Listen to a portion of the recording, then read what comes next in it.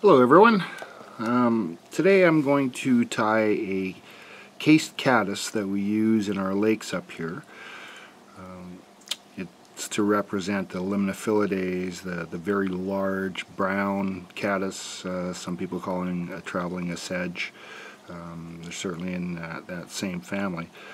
But this particular caddis does a patchwork quite often of weeds, uh, sand, snail shells, pine pine needles, whatever it has access to, but more often than not it's uh, small swatches of uh, weed uh, debris and so often the casing is uh, bright greens and yellows and browns and um, the larva itself is bright green, uh, almost a chartreuse in color and uh, so I start the fly by tying it on a, a Hends uh, BL724, which is a 2x strong, or pardon me, a 1x strong hook. Um, it's quite large, and the purpose of this fly is to move it somewhat similar to a jig, uh, as if you're fishing walleye in a lake. Uh, so I want it riding on the bottom off a very long leader to a floating line or an intermediate sink line.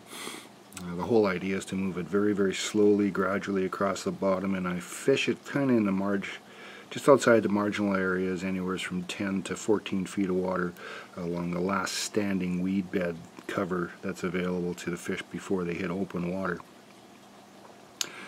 But keeping in mind that uh, we want to tie this so that it does work like a jig, and what I'll do is I'll take my hook here and I'll just set it at an angle and then uh, I'm going to secure this tungsten bead head in place.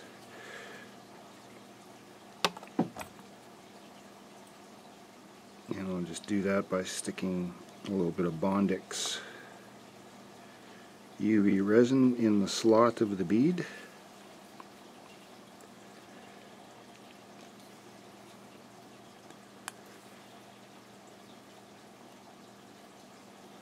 And then we'll add extra weight, uh, a flat lead on the bottom side, or will be the bottom side of the fly as it's riding hook, hook up. So we'll just add on a base layer of thread at this point. I'm tying with the Semperfli Nano Silk 12 here. I'm just laying a good strong base layer. I'll give something for the lead to stick to so that it doesn't rotate on the hook shank itself.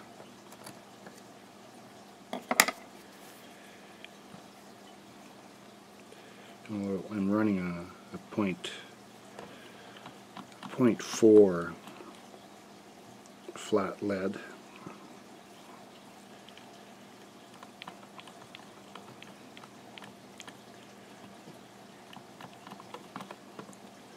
I'll run, build a couple of layers.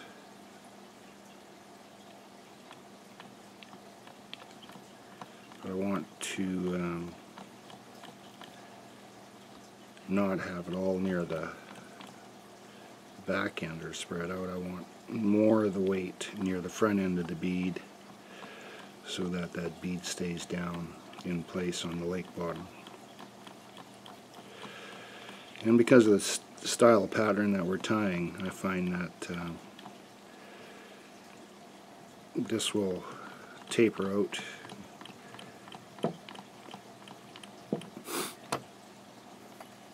to have a nice finish when the fly is trimmed back.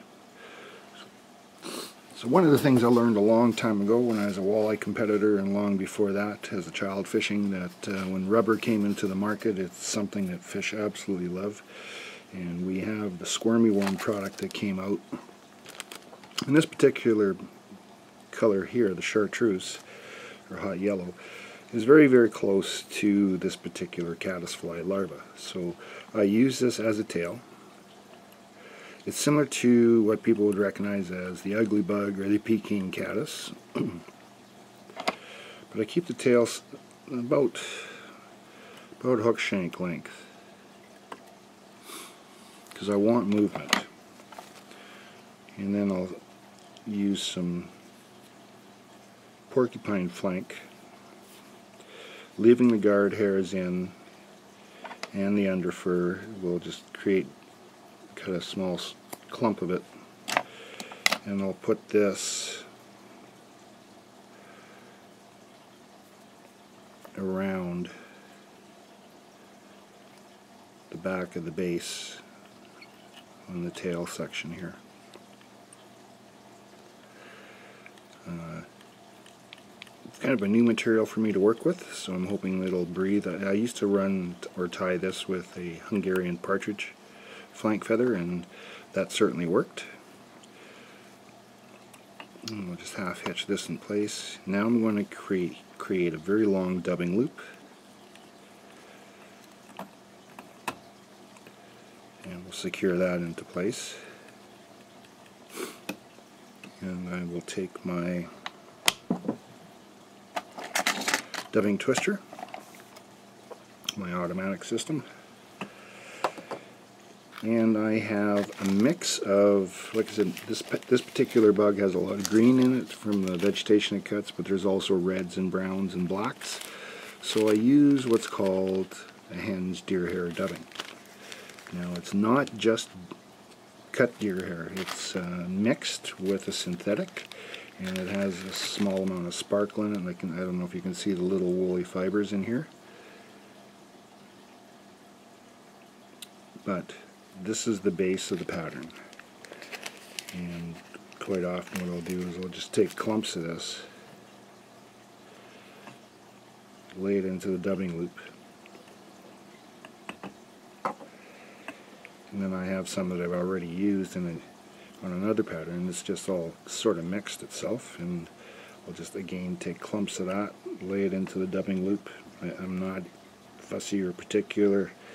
Um, how much black or how much red there's in there as long as the overall pattern is mostly green olives uh, which is the case in the actual casing on most of these particular limnophilidaes.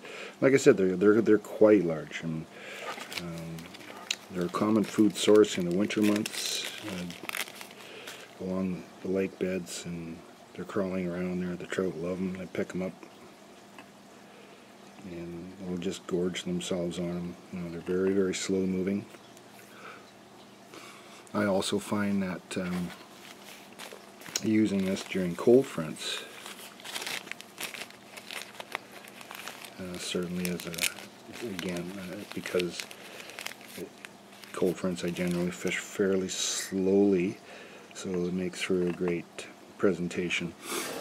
Um, to be able to control the fly deep water on cold fronts and have it moving slowly. So now that I've put all the hair in there with the synthetic fiber, I'll just spin this. And as you can see, that's all mixed. And now I'll just thin it out just by plucking any of the clumps out of the out of the way. Any places sort of piled up.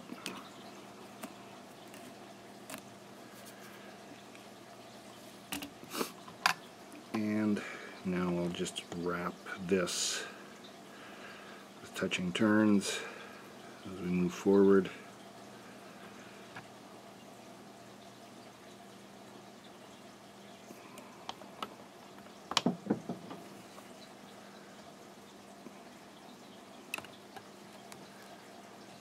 might be one wrap too many. Okay, and we'll just tie off behind the bead.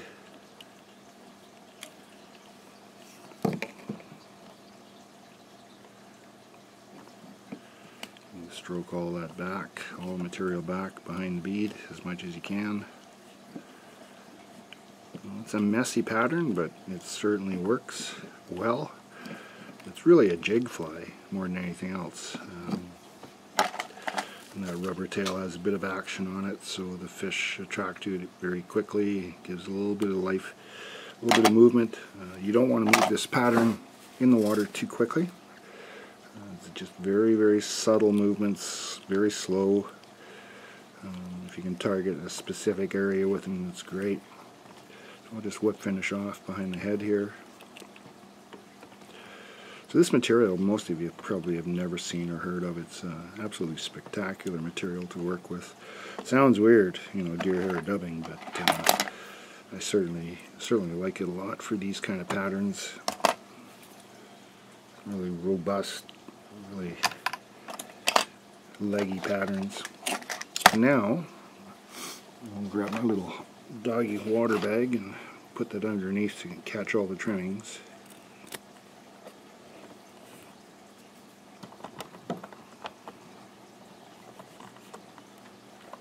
Lift everything up and cut it off as close and as tight as possible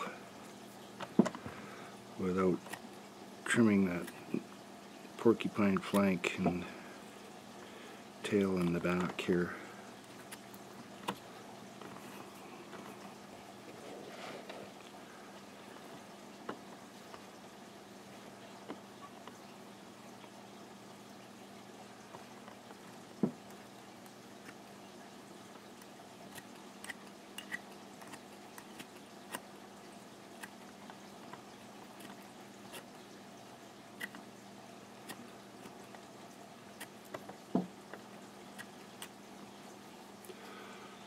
So that's pattern trim back.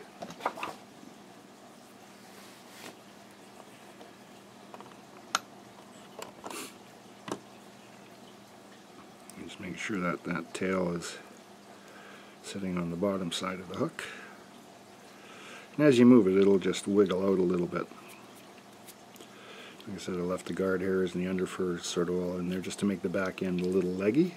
It's all very soft and it, it'll ride on the substrate hook point up in this fashion here.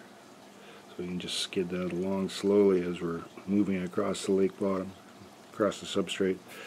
And uh, so often when you fish this pattern you may not get an actual hard tapping hit. All of a sudden the fly will just sort of feel like as if it's stuck. If you hold it and wait there for a moment you'll find that it'll move off on you and that's when you set the hook.